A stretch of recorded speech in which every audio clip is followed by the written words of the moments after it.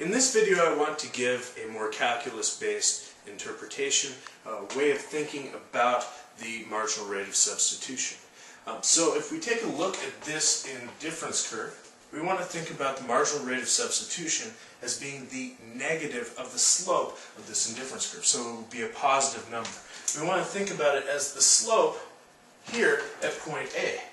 Now, if you remember from your calculus classes, slope is just going to be, if, if we think of health as y and taste as x, it's just going to be dy dx.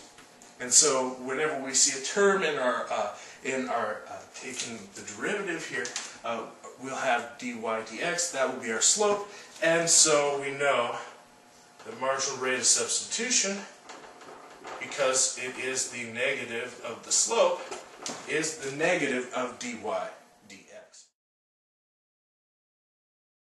An indifference curve is defined as the x's and y's that give you the same utility. Um, if we think of this as a multivariable function, utility is a function of x, it's a function of how much taste you have, it's a function of y, how much health you have, and um, the utilities, uh, the x's and y's that give us 10 are all on the same indifference curve.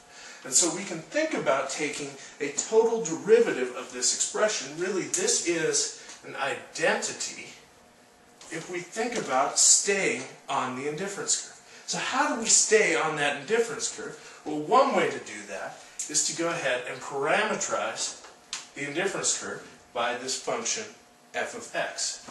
So let's go ahead and parameterize that and substitute that in.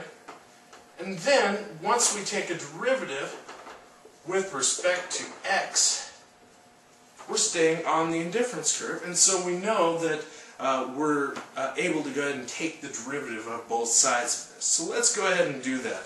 Take the derivative, the total derivative of both sides here. So we take the derivative of utility with respect to x. That's the first argument.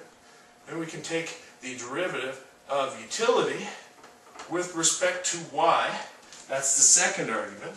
But then, because y is a function of x, we take the derivative of y, or in this case it's the function of x, with respect to x. And that equals, well, the right-hand side doesn't depend on x. That equals 0. And we can go ahead and look at this. That's going to be our dy dx. And we can go ahead and solve for dy dx. Notice we take the negative of du dx. We can divide by du dy, and that will equal dy dx. Now notice we can multiply both sides by negative 1. I'll get rid of that negative there, and that'll get us a negative of the slope. Well, remember when we started here? We have the negative of the slope, and we call that something. That's our marginal rate of substitution. Our marginal rate of substitution equals the negative dy dx, and it equals this derivative divided by this derivative.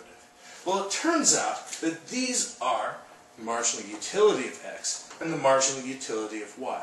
One way to get marginals uh, out, of, out of a function is just to take the derivative. You're thinking about the instantaneous change in utility as you increment up x. That's going to be your marginal utility of x. And you're thinking about the instantaneous change in utility as you increment up y.